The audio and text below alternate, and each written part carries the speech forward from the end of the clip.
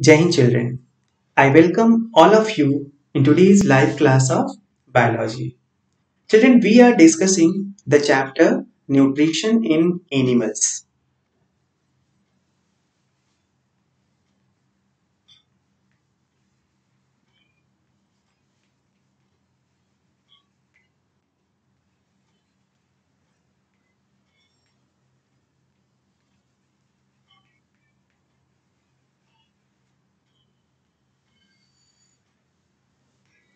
In this chapter, I have explained you the different processes of nutrition. Like the first one, we have explained about the ingestion, then digestion of food, absorption of food, and assimilation of the digested food. Now today we will discuss the rest topic of the chapter that is egestion. I'm going to share now my screen. So with the help of the slides, I'm going to start the today's topic.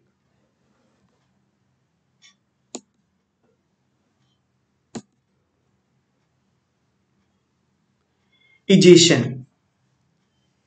Children, not all the food you eat is digested and absorbed. The food that cannot be digested moves from the small intestine into a wide tube called the large intestine.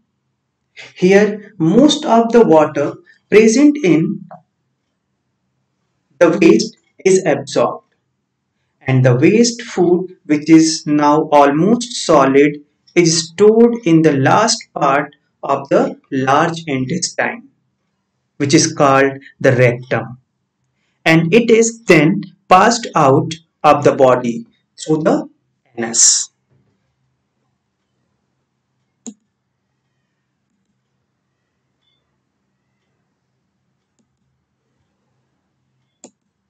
Now, let's come to the topic.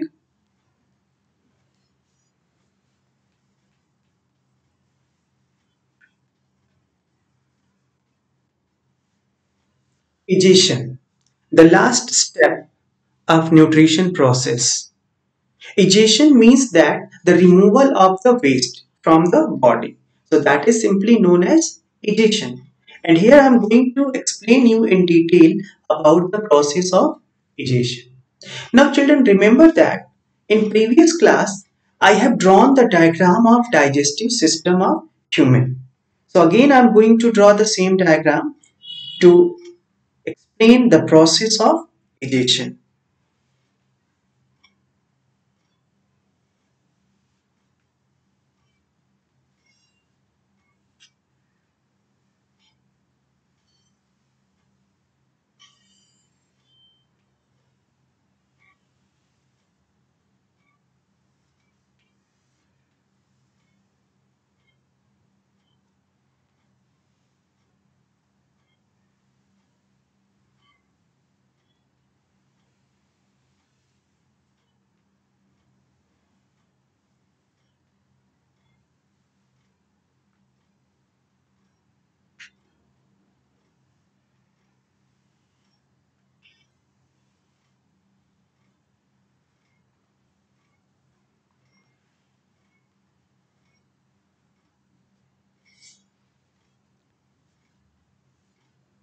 Children, this is after the mouth, the food passes in food pipe, that is esophagus.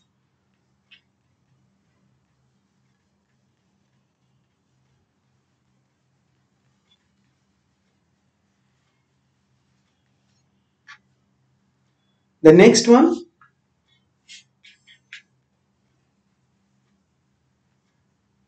Stomach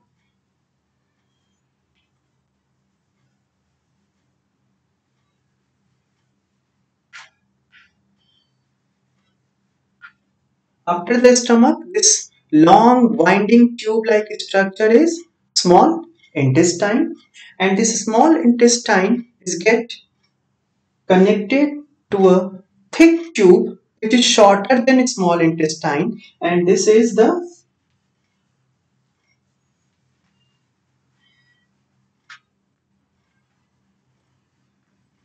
large intestine. The large intestine is going to end at a muscular bag-like structure which is known as rectum. And this rectum is going to open in an opening. This opening is known as anus.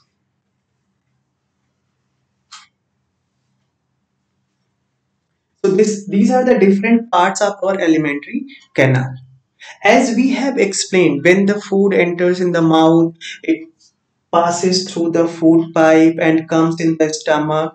Here the partial digestion takes place. Again it moves in the small intestine and with the help of different digestive juices that complete digestion of food takes place and after that the food get absorbed from the wall of small intestine and after the absorption they get utilized to produce energy and other purpose in the body. Now, the undigested part, the waste part of the food, along with excess water, enters from small intestine to long intestine. And this large intestine absorbs the excess water. Children, you must have to make it clear. In small intestine, the absorption of food take place. And in large intestine the absorption of excess water from the foods takes place. So when the excess water get absorbed from this large intestine so the solid undigested waste food move forward and get collected here at last in the rectum. And from the rectum time to time it get removed out thrown out from the body through this opening which is known as anus. And this removal is known as egestion. Simply you can say that egestion is a process in which the solid undigested part of the food get removed out from the anus from our body and the water which was present in digested food is get absorbed in large intestine so this large intestine, rectum and anus, they all are going to play an important role in the process of egestion.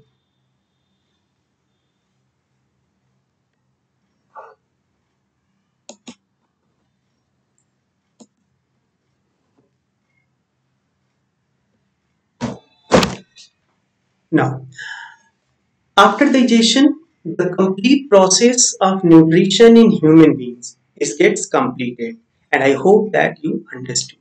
Now I'm going to start the next topic that is ruminants. The ruminants are hoofed plant-eating animals that digest their food in two steps. Some examples are cows, buffaloes, goats, sheep and bison. They have complicated stomachs consisting of four chambers Food that is swallowed goes into the first chamber called the rumen. Here it is partially digested and is called cud. It then goes to the second chamber from where it is returned to the mouth for thorough chewing and this process is called the rumination. That is why these animals are called ruminants.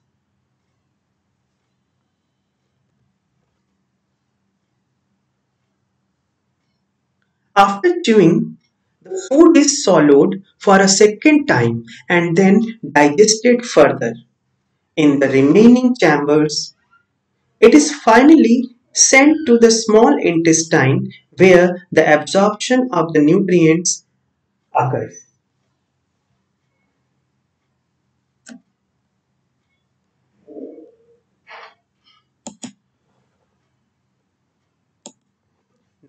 Then come to the next topic of the chapter that is ruminants. And I hope that you understood these all steps of nutrition process in human beings.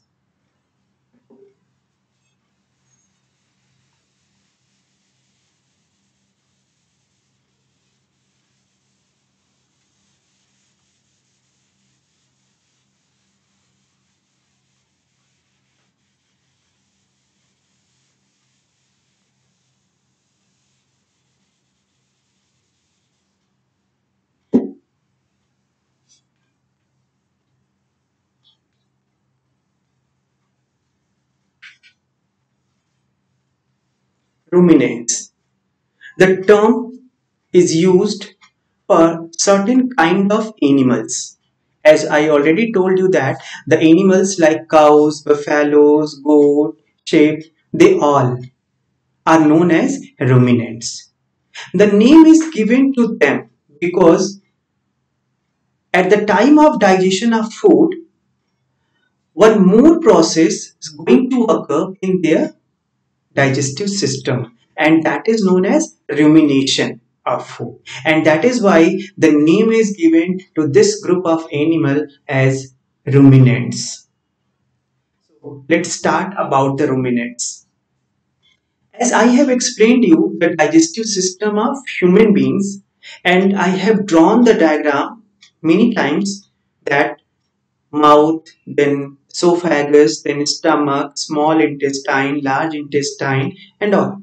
So here in case of ruminants, the digestive system is somewhat complex.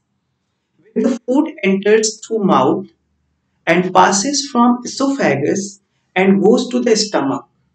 So their stomachs are divided in four chambers. As we have the stomach which have only one chamber and the stomach of these animals are having four chambers. And the name of the first chamber of the stomach is rumen.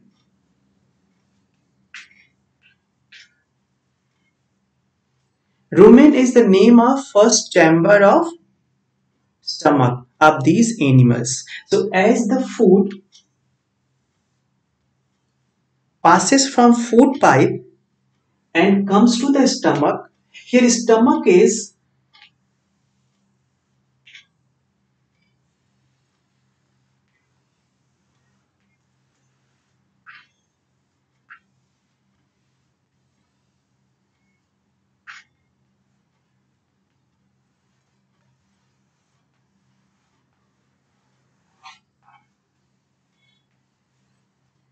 divided into four chambers and then small intestine and large intestine. So this is the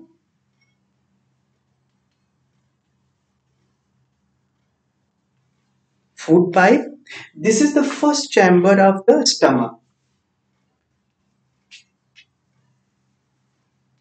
which is known as rumen.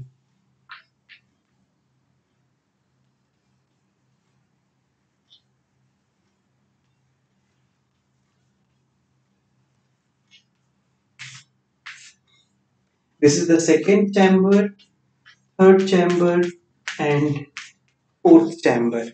And food passes one by one. So first of all, the food enters from mouth and comes in the food pipe and comes in first chamber that is rumen chamber of the stomach. Here the food get partially digested, not completely digested. And from the rumen, it goes to the second chamber and again from second chamber it comes back to the mouth.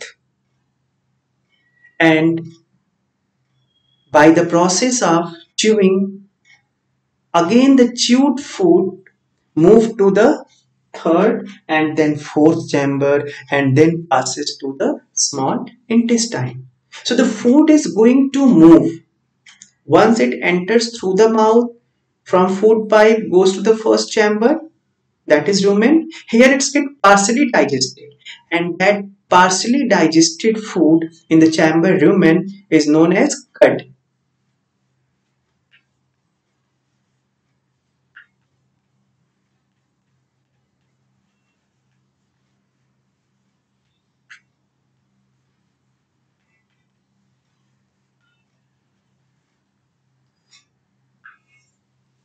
So the term cud is used for partially digested food in the chamber rumen. And again this partially digested cud comes in the second chamber again back in the mouth.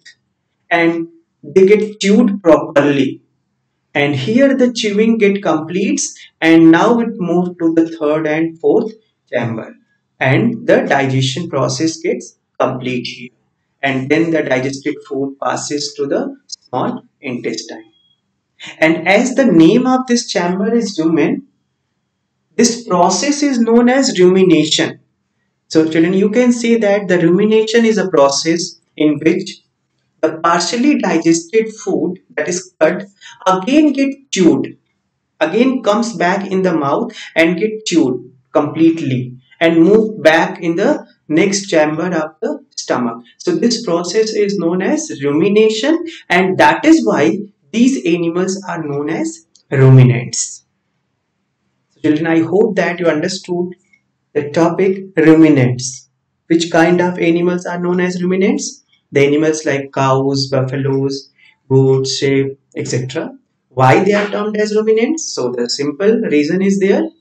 They have the rumination process the rumination process is chewing again the partially digested food that comes back from stomach second chamber of stomach to the mouth and again moves back. So this process is known as rumination and that is why they are known as ruminants and this partially digested food stored in first chamber. So the name of that first chamber is rumen. So the rumination terms comes from the chamber rumen. That is the first chamber of stomach of these animals. So I hope that you understood about the process of digestion in ruminants in these animals.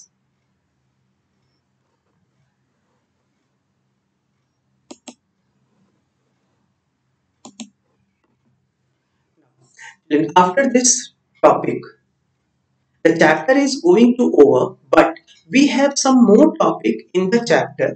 Like a topic is there in the book the story of the stomach with a hole. So I'm going to discuss this topic of the chapter also the story of the stomach with a hole. How the working of the stomach was discovered makes an interesting story. On 6 June 1822, a man called Alex Saint Martin was accidentally shot in the stomach. He was treated by an American doctor, William Beaumont. Martin survived but with a hole in his stomach that never completely healed. Dr. Beaumont recognized this as a unique opportunity to observe digestive processes he began to perform experiments on digestion using Martin's stomach.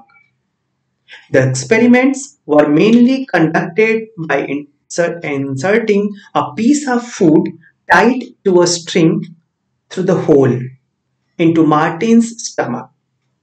Every few hours, Dr. Beaumont would remove the food and observe how well it had been digested.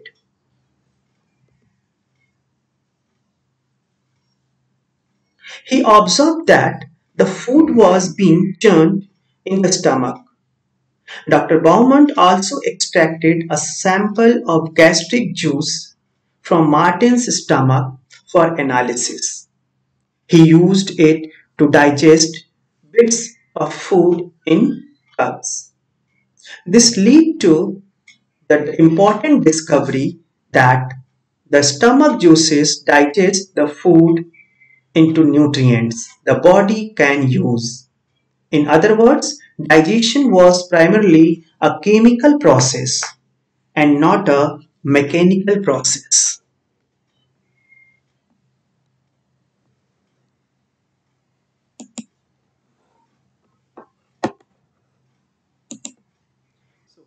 The topic is there the story of the stomach with the hole.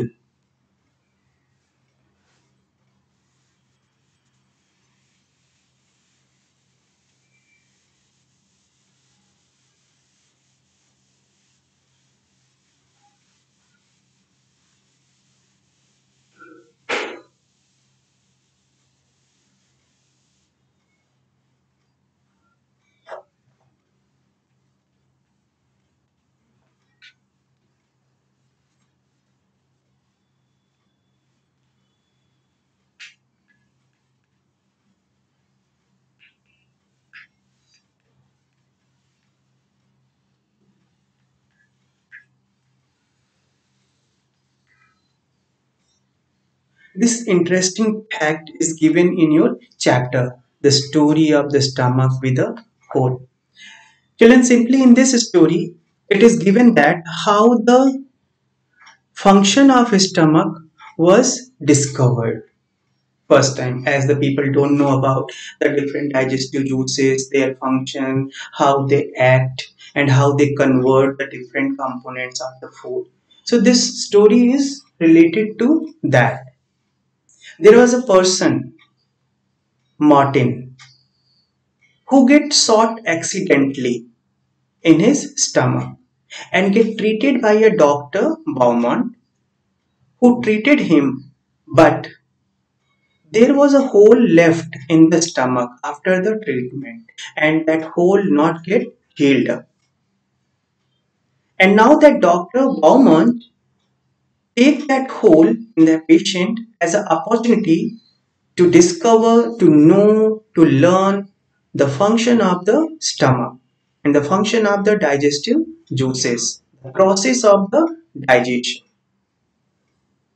So that doctor have conducted number of experiments on that hole as he has given the food which are tied with a string and when the food passes from mouth and comes in the stomach so the digestion get start because certain digestive juices get added.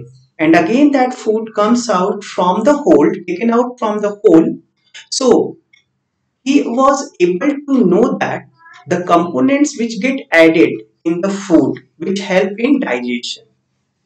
And second thing the substance which get added the juice which get added he get collected that juice and mixed it in a bit of food in cup and observe that that food is going to digest that food is going to break down from complex to simple form. Then he has given his idea that the digestive juices are going to secrete in stomach which are responsible for digestion of food. And the overall function of the digestion get explained by him later so in this story about the function of stomach and the digestive juices are explained to you so the mr Beaumont, a doctor who has given his opinion about the function of digestive juices with the help of his patient who have a whole stomach.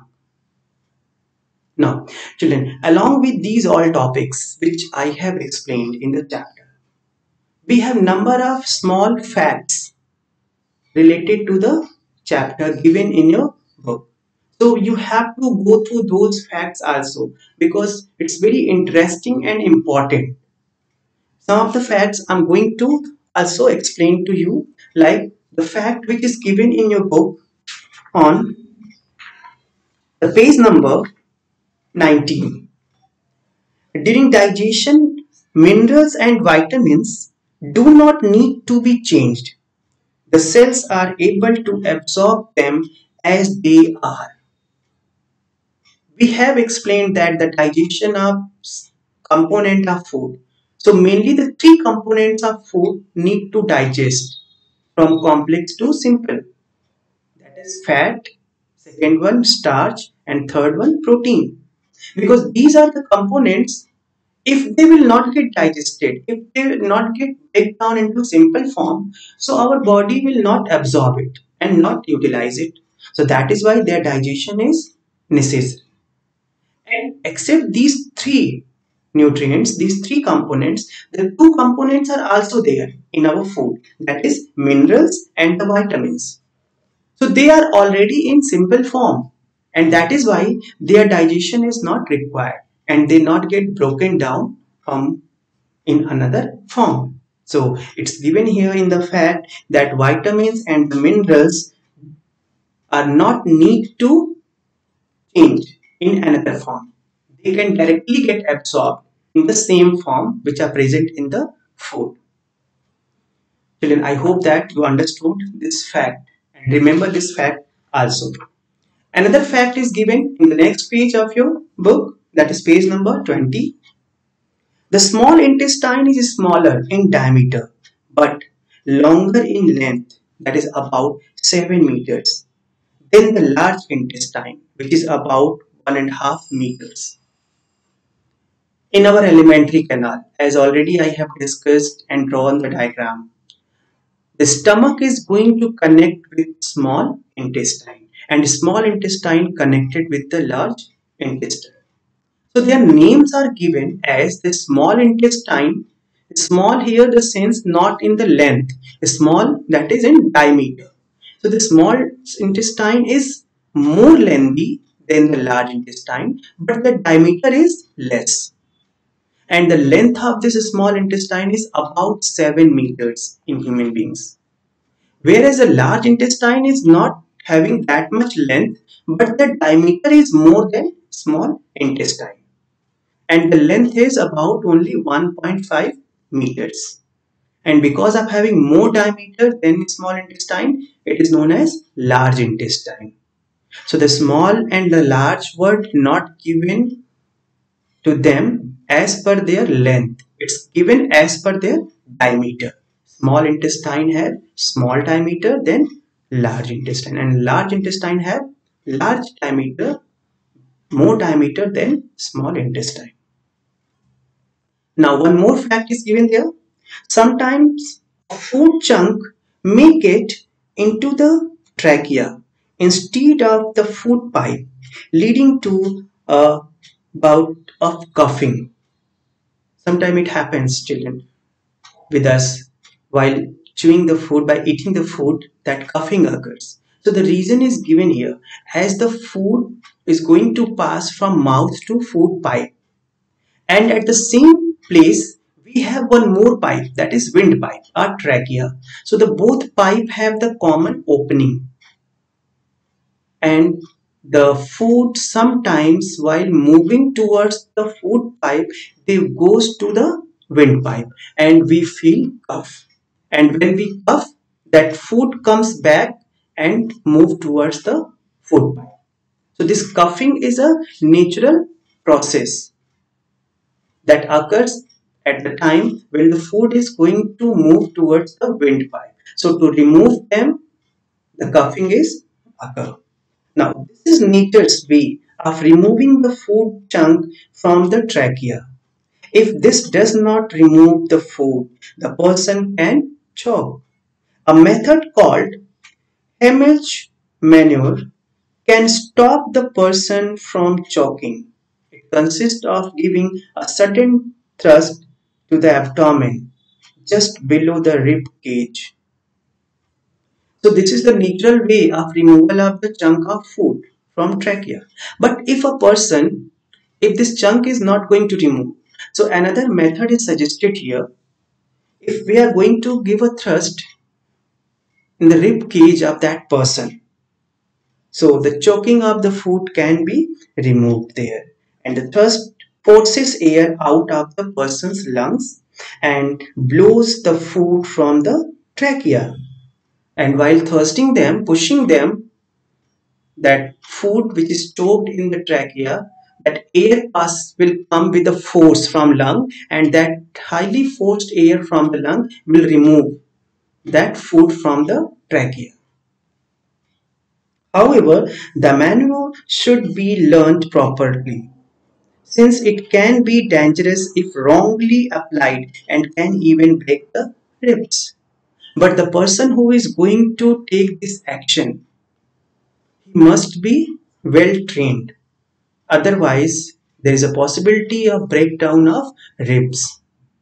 So if you are going to have this process of thirsting the ribs of a person who have choked trachea. So you must have well trained. Otherwise you must have to visit any doctor. Children these are the topics which are given in the book. Now at last today i'm going to once again revise the overall topic of the chapter which we have explained.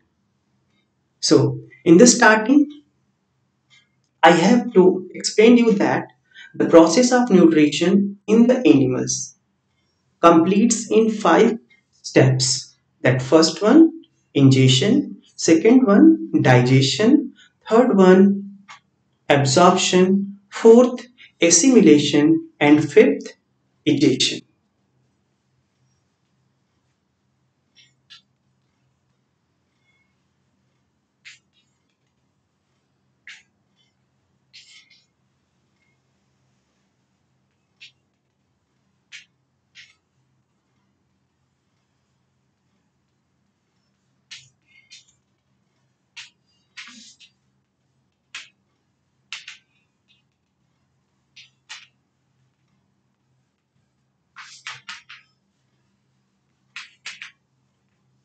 So these are the five processes which involve in nutrition.